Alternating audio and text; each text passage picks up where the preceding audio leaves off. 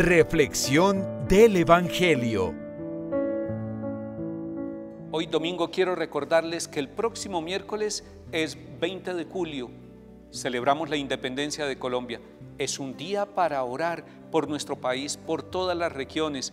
Qué bueno que nosotros seamos como el hogar de Marta y de María, que en esa aldea acoge la palabra viva, la palabra de salvación que es Jesús que Jesús se aloje en todas las familias de nuestro país.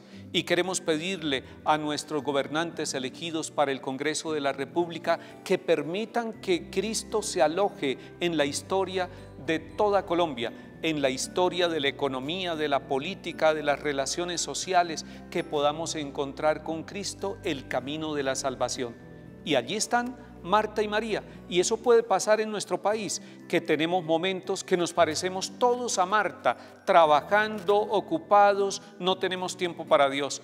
Pero qué bueno que Colombia se parezca también a María, que está humildemente sentada, gozosamente sentada a los pies del Maestro. Que Colombia se parezca a María, acogiendo la palabra de Dios, llevándola a su vida, reconciliándonos, trabajando juntos, sintiendo el gozo de saber que nuestro corazón se abre para recibir una palabra que nos muestra el camino, que nos llena de esperanza, que nos ilumina el sendero, pues que Marta y María se combinen en nuestra vida colombiana, que tengamos la certeza de acoger la palabra como María, pero que tengamos también el gozo de trabajar como Marta. Y si oramos y trabajamos, si combinamos oración y trabajo, nuestra patria va encontrando caminos de progreso, de desarrollo humano integral, pero va encontrando también caminos de santidad ese sea el mensaje para empezar esta semana y esta semana oremos por nuestro país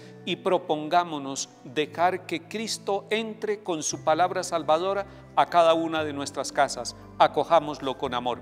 Que el Señor bendiga nuestra patria y bendiga nuestras familias. En el nombre del Padre y del Hijo y del Espíritu Santo. Amén. Reflexión del Evangelio.